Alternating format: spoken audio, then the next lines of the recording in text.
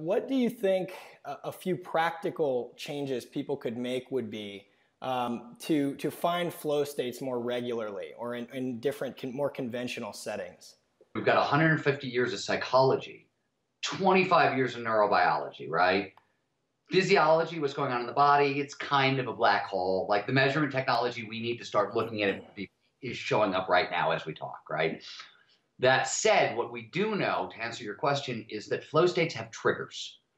Right now, we know of about 18 different triggers. These are preconditions that lead to more flow, right? And the, the first thing that you need to know is the most obvious. Flow is about attention. Flow can only take place when all of your attention, all of your focus is completely in the present moment, in the in the now, is to, to use that horrible phrase.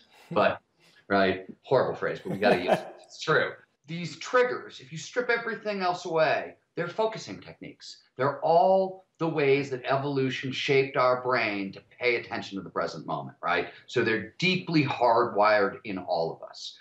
And we know flow is ubiquitous, so it can show up anywhere, in anyone, provided certain initial conditions are met. The reason action adventure sport athletes are so important to this discussion is because they gave us a data set with which to work. We actually could say, okay, these guys have to be in flow to throw those double backflips. So we know we don't have to wonder if they're in flow and we can work backwards and it's led us to these triggers. These triggers, though, can be applied anywhere. Let me give you a simple mm-hmm. example and kind of map it from one world to the other. The most obvious thing you think about when you think about action adventure sport athletes is the massive amount of risk they're taking, right? Risk is a focusing mechanism. It's an amazing focusing mechanism. Literally under the hood, whenever we take a risk, the brain releases dopamine, which is a primary focusing chemical. It drives attention into the now, right? It's also a big reward drug and does a bunch of other things, but focuses our attention. Same thing with norepinephrine, which also gets released whenever we take a risk. Here's the cool part. You don't have to take a physical risk. The, you can take an emotional risk, a creative risk, a social risk. In fact, your brain can't tell the difference between social risk and physical risk. Same brain structures process them. It sounds kind of puzzling, right? Like, why the hell would that be? Think about it. You go back 200, 300 years and you screwed up socially, right? You got banished, exiled.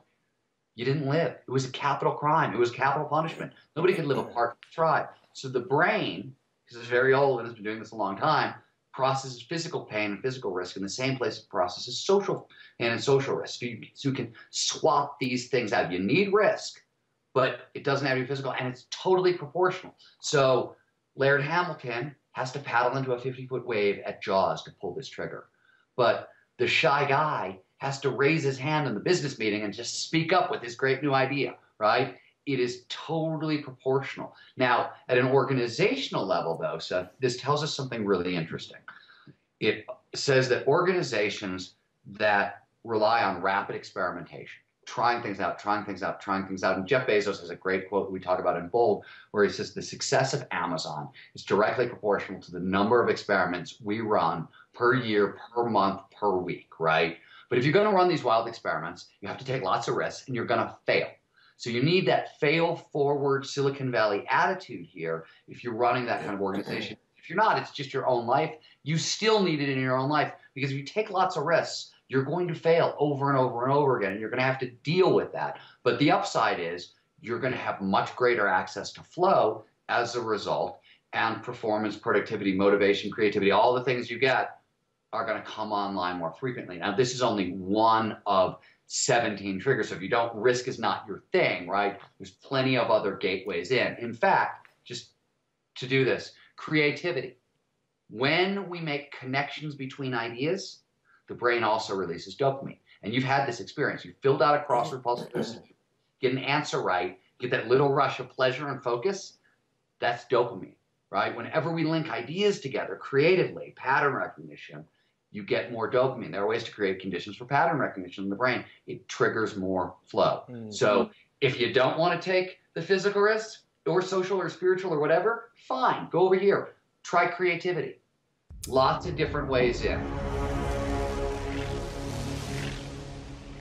If what you've heard on Flow Research Collective Radio has been helpful, please consider doing us a solid and leaving us a review on Apple Podcasts, Spotify, or wherever you are listening to this. Reviews help us connect to a wider audience so we can get these peak performance principles out to more people.